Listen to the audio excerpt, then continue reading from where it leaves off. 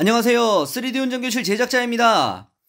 여러분 지금 보시면은 이 차는 바로 지난번에 소개해드렸던 MPC 마세라티 MC20입니다. 제가 요즘에 새로운 MPC 차를 계속해서 만들고 있는데 그런 소개 영상을 올릴 때마다 많은 분들이 댓글로 적어주시더라고요. MPC도 운전할 수 있게 해주세요. 그런 댓글이 너무 많으셔가지고 제가 지금 작업을 하고 있습니다. 여러분들이 이제 차에 타고 가다가 사람으로 내려가지고 지나가는 NPC를 세운 다음에 이 NPC에 올라타서 운전을 할 수 있는 그런 기능을 만들고 있습니다. 지금은 아직 테스트고요. 어, 일단 한번 테스트 삼아 해보고 있습니다. 이 차 같은 경우는 지난번에 소개해드렸던 그 차인데 NPC를 지금 제가 운전하고 있습니다. 지금 이 NPC는 제가 테스트 중이라서 여러 가지 기능이 안 됩니다. 방향지시 등 뭐 카메라 뭐 이런 거 다 기어 같은 거 다 안 되죠.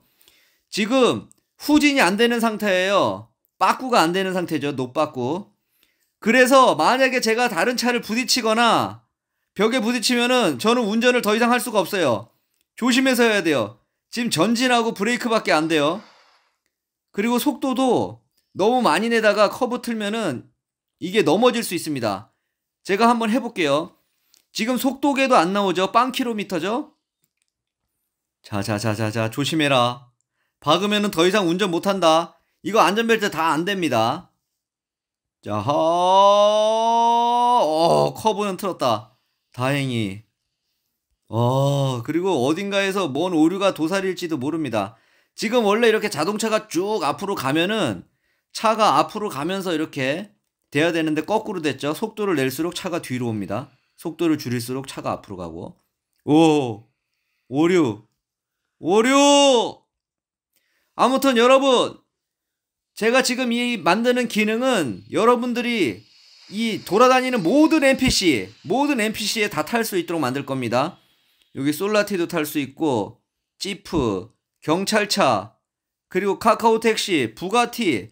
돌아가는 NPC는 무조건 다 세우고 다 탈 수 있도록 네, 아, 제가 여러분 이 기능은 약간 GTA 같아서 안 만들려고 그랬는데 여러분들이 너무너무너무 원하셔가지고 댓글에다가 NPC 좀 타게 해달라고. 사실 이 돌아다니는 NPC quality가 높아졌고 뭐야 박았어! 람보르기니 박았어! 야 이거 뭐 G클래스 너가 어떻게 람보르기를 박냐? 이런 거 있잖아요 보시면은 GV80 다 탈 수 있게 할 겁니다 네, 저 쓰레기차도 타고 뭐 아무튼 다 타게 할 거니까는 계속 열심히 도전하도록 하겠습니다. 오늘 하루 종일 했는데 요거밖에 못 했죠? 이것도 영상 못 올릴 뻔 했는데 간신히 여기까지 작업한 거예요. 시내버스도 타고 저거 트레일러 트레일러도 다 올라타고 카니발 아무튼 모든 차에 다 탈 수 있게 만들 테니까는 여러분 조금만 기다려주세요. 나 야, 나 박으면 안 된다고. 빠꾸 안 된다고. 후진 안 된다고. 네, 여러분 계속해서 열심히 만들어 가도록 하겠습니다. 아, 이게 지금 소리도 안 나고 여러 가지가 미약한데. 자, 모든 차를 탈 수 있다니.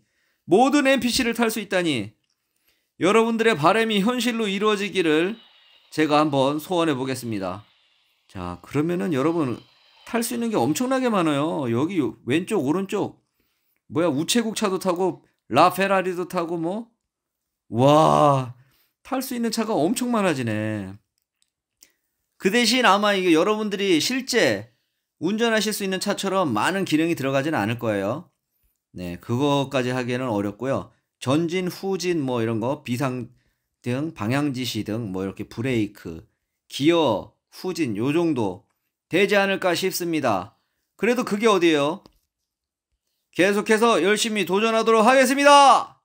자, 경찰차를 운전하는 그날까지 저거 뭐야? 119 구급차. 야, 나도 저거 트레일러 한번 운전해 보고 싶다. 이런 것들을 다 운전할 수 있는 그날까지 열심히 하도록 하겠습니다. 여러분 오늘도 3D 운전 교실 영상 시청해 주셔서 감사하고요. 다음에 또 다른 영상으로 찾아뵙도록 하겠습니다. 감사합니다. 자, 제가 보여드릴게요. 뭔가. 자, 박았죠?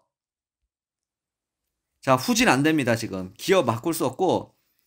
악셀 밟고 핸들 돌려도 저는 여기서 움직일 수가 없어요. 후진이 안 되기 때문에. 내일은 후진 작업해야 될 것 같습니다. 다음에 또 다른 영상으로 찾아뵙도록 하겠습니다. 감사합니다.